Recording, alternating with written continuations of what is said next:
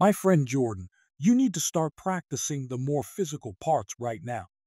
I got some short yard drills in yesterday while practicing on pads. What are your thoughts on training camp reaching that stage? To me, that seems awesome.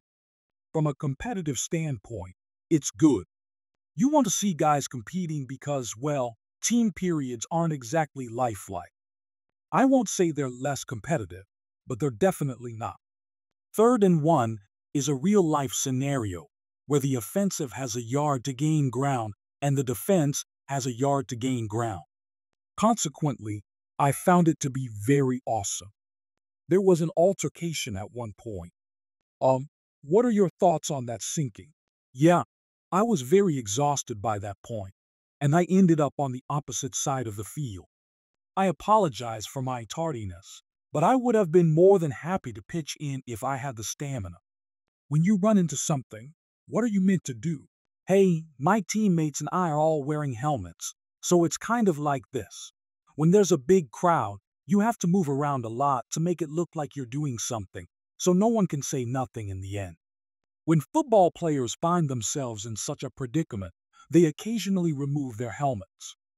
That is clearly not something you do.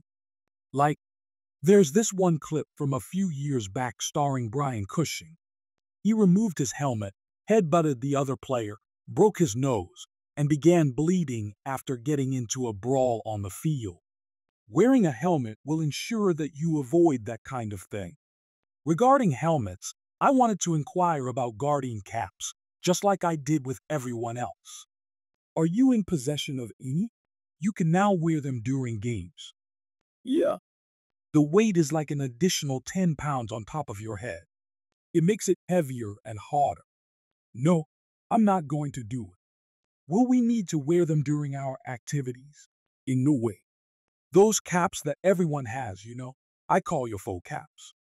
To be honest, this squad has a reputation for being all speed and no muscle. In your opinion, how will this defense alter that sense of self? Do something physical, anything at all.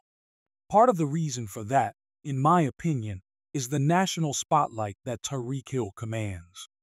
The only thing that matters is the speed, and everyone is watching that.